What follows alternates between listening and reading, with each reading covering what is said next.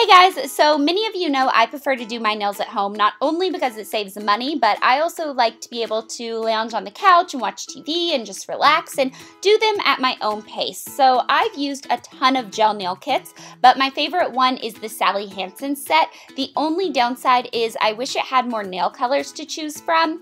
Now, some people say that the light can cause cancer, but so can popcorn, deodorant, hula hoops, and cell phones. So if you don't want to stick your finger in here, nobody is making you.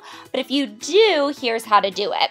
The first step is to use a cotton ball soaked in a bit of acetone or nail polish remover and make sure to remove all old polish and excess oils from your nails. Then we're going to grab a cuticle remover and you can get this at a drugstore or my favorite one is by Deborah Lippmann, but I'm out of that one. Massage it onto your cuticles and let it sit for about 15 seconds, then take an orange stick and gently push back the cuticles. I don't like to cut my cuticles because that sliver of skin actually serves a very important purpose and that is to keep bacteria and infection out of your fingers. So don't go chopping it off, just push it back a little bit. Then you want to wash your hands with warm soapy water.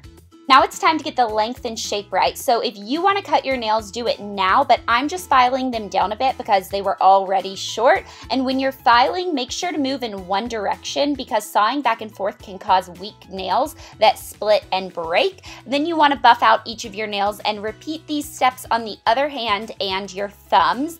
Then apply a nail primer to your nails to make sure that all the excess oil is gone and this will also help your gel last longer. Then apply one thin layer of gel base coat and the most important thing I can say in this entire video is make sure you cap off your nails on each layer of polish. That means running the brush along the exposed edge of your nail to seal and lock in the gel. This will help with lifting and make your nails last way longer. Then you want to cure the base coat for 30 seconds. Now pick your color and apply a thin coat to your nails and don't forget to cap them off. I'm using the color Back to the Fuchsia, but I'm also loving Commander in Chic, which is a gorgeous grayish, and Cherry Cherry Bang Bang, which is a pretty poppy plum. So cure this coat for 30 seconds, then apply another layer just like that, cure it for 30 more seconds.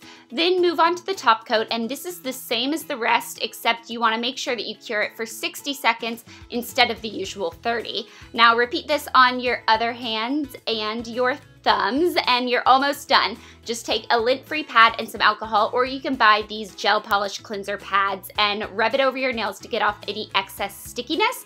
Last but certainly not least, you need to moisturize your cuticles. So I like using the Lemony Flutter Cuticle Butter from Lush. Then rub the cleanser pad over your nails once more to keep them nice and shiny and you're all done. I hope you guys enjoyed this video and I'll talk to you next time. Bye.